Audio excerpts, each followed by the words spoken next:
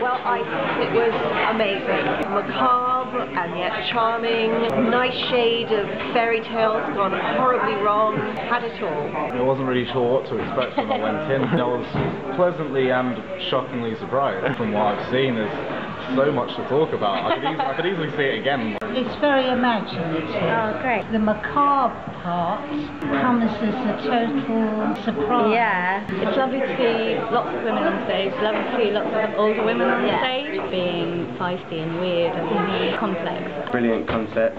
I love a bit of dystopian comedy. It's a shocking piece.